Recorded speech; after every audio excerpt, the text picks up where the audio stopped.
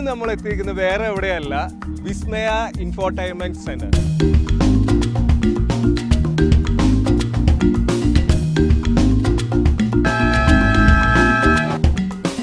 പറയുന്നത് ശരിക്കും ഒരു ഫാമിലി ഇൻഫോർടൈൻമെന്റ് സെന്റർ ആണ്. ഒരു ഫാമിലിയുടെ എല്ലാ സെക്ഷൻസിനും അതായത് അഡൾട്ട്സ് ആവട്ടെ കിഡ്സ് ആവട്ടെ